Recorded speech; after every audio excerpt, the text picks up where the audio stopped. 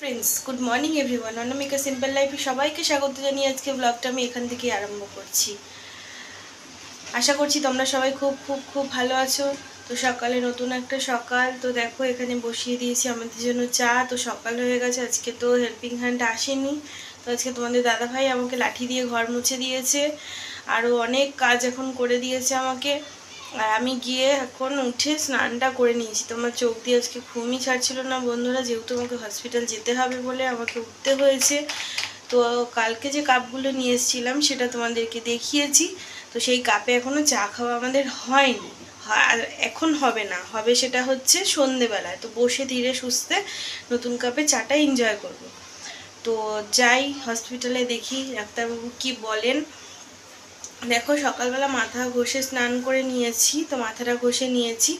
এখন খাব হচ্ছে দুজনে চা। দেখো, বসিয়ে দিয়েছি এখানে দুধ, চা একটুখানি। আর এখন আমি ওষুধ খাব ওই যে ওষুধের জলটা নিয়েছি। ওখানে ব্যাগটা রেডি করব, যাব বলে ব্যাগের মধ্যে জল নিয়ে নেব। আর মেট্রোতে যাব নাকি গাড়িতে যাব এখনও সেটা ঠিক হয়নি। তো চলো, চাটা নিয়ে ঘরে যাই, তারপরে দেখা করছি তোমাদের সাথে। দেখো বন্ধুরা, এখানে চা আমি করে নিয়ে চলে এসেছি, আর এখানে নিয়ে নিয়েছি বিস্কিট। তো আমার ওষুধ খাওয়া হয়ে গেছে, আর দেখো এখানে জামা প্যান্ট, ব্যাগও গুছিয়ে নিয়েছি, ওখানে রিপোর্টটাও নিয়ে নিয়েছি। তো চলো চাটা খেতে খেতে রেডি হই, রেডি হয়ে একবারে বেরোনোর সময় দেখা করছি তোমাদের সাথে। তো দেখো বন্ধুরা, হয়ে গেছি আমি রেডি। তো তোমরা দেখ মানে বলবে হয়তো যে দিদিভাই একটা কুর্তি বার করে আর একটা পরলো। ওই এটা পরার কারণ হচ্ছে বন্ধুরা ওটা আমার প্রচণ্ডভাবে টাইট হয়ে গেছিল। তাই আমি পরতে পারছি না টাইট হয়ে গেছিল বলা ভুল কথা, আমি সেলাই করতে দিয়েছিলাম, সেই জন্য সে টাইট করে দিয়েছিল, তাই এটা পরে নিয়েছি। চলো বাইক নিয়ে এখন বেরোবো, বেরিয়ে কথা হবে তোমাদের সাথে। তো দেখো বন্ধুরা ফুল প্যাকেজে হয়ে গেছি আমরা রেডি তো এখন তোমাদের দাদাভাই গাড়ি বের করছে, এখন গেটে তালা দেবো গেটে তালা দিয়ে এখন দিদিকে বলব, বলে তারপর আমরা বেরোবো। তো চলো চলতি পথে যদি কিছু দেখাতে পারি, দেখাবো, নইলে একবারে হসপিটালে গিয়ে কথা হবে তোমাদের সাথে। তো দেখো আমরা এখানটা দিয়ে ধর্মতলায় আছি। এখন এখানটা দিয়ে বাইক আমাদের পাস করছে। তা দেখো, এটা সামনে আছে গ্র্যান্ড হোটেল তো দেখতেই পাচ্ছ রাস্তার দৃশ্য দেখো আমি ঠিক যতটা জায়গা চিনি না তোমাদের দাদাভাই আমাকে বলে বলে দিচ্ছে আমি বলছি তোমাদেরকে তোমাদের সাথে এটা না শেয়ার করে পারলাম না তো দেখো তোমরা কি ভালো লাগছে বন্ধুরা এক পাশ দিয়ে গাড়ি পাশ থেকে যাচ্ছে আর এই পাশ থেকে ওই দিক দিয়ে আসছে এদিক দিয়ে যাচ্ছে দেখো বন্ধুরা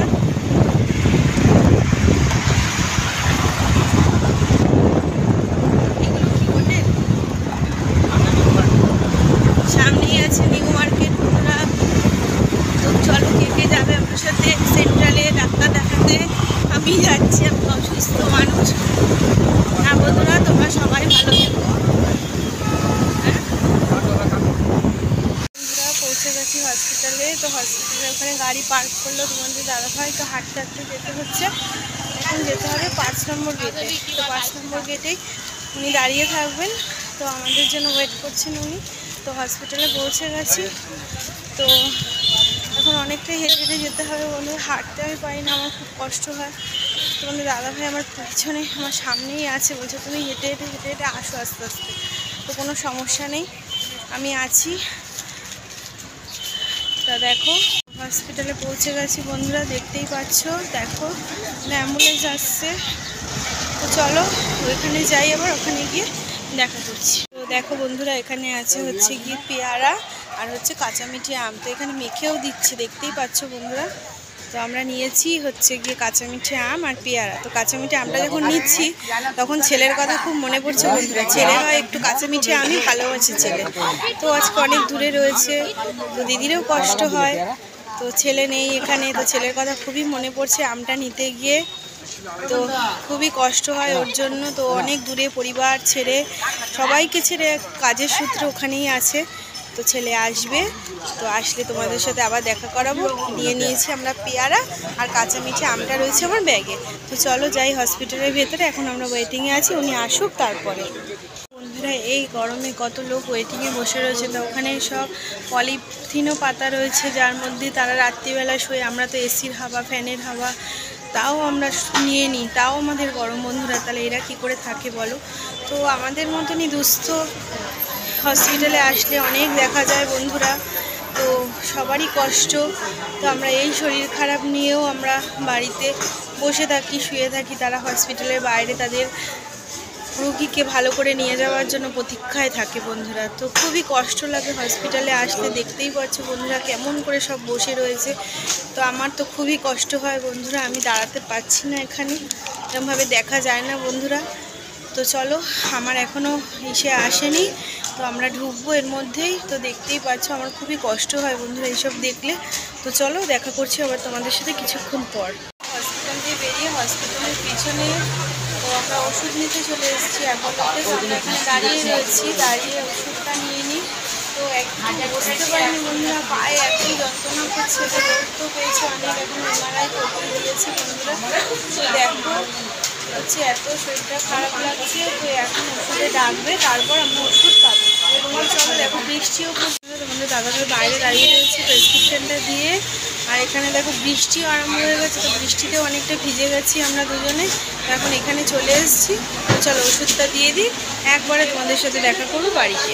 দেখো বন্ধুরা, চলে এসেছি আমরা বাড়িতে। এখন বাজে ঘড়িতে পৌনে চারটে, তো এসে আগে ভাত বসিয়ে দিয়েছি প্রেশারে আলু সিদ্ধ দিয়ে।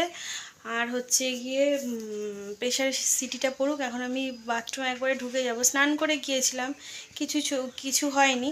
তা এখন আবার গরম লাগছে একটু স্নান করব। আর দেখো এখানে আমাদেরকে যেমনটা বলেছিলাম নিয়েছিলাম পেয়ারা আর এখানে নিয়েছিলাম আম। আর এখানে দেখো নিয়েছি হচ্ছে গিয়ে পটল আর হচ্ছে বেগুন আর টমেটো।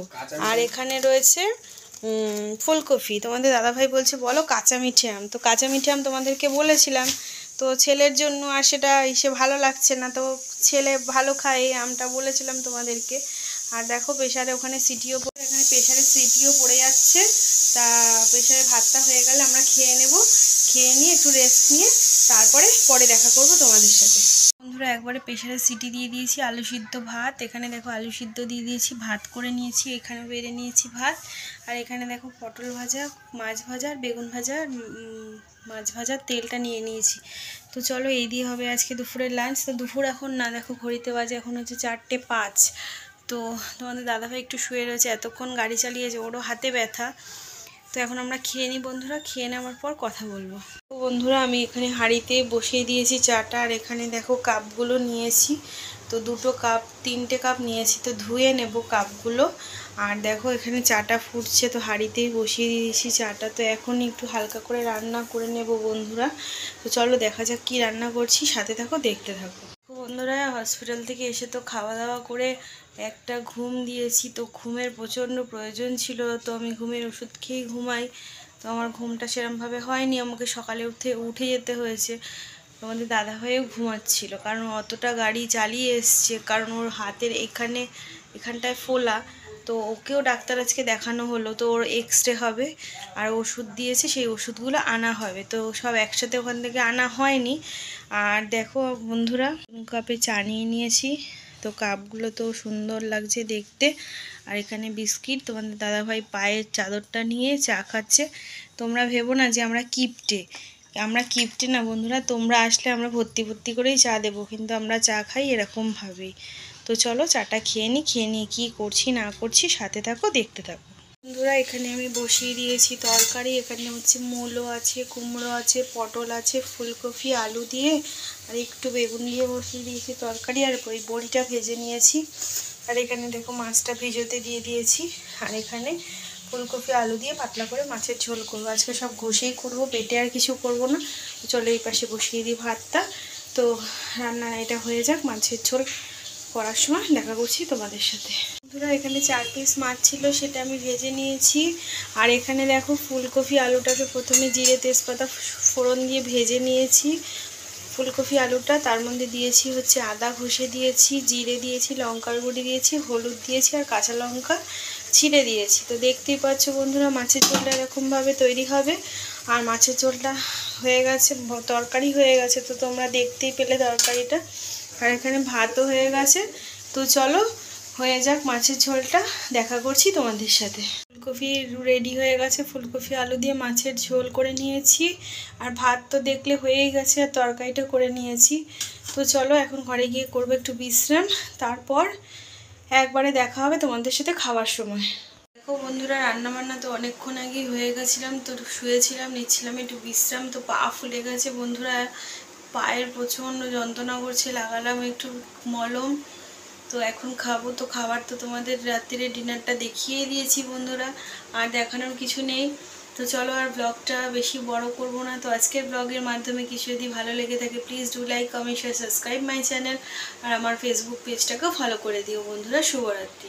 বন্ধুরা, এগুলো হচ্ছে আমাদের বাপের বাড়ির গাছের উচ্ছে। তো বাবা কালকেই দিয়ে গেছিল, আমি তোমাদের ভুলে গেছিলাম দেখাতে, কাকি পাঠিয়ে দিয়েছে। তো দেখো এগুলো আমাদের বাপের বাড়ির গাছে উঠছে। তো চারটে দিয়ে গেছে আমাকে। তো এখন এটা ফ্রিজে ভরে দেব। তো দেখতেই পাচ্ছ কি সুন্দর সুন্দর মনে হয় দানা হয়নি। তো চলো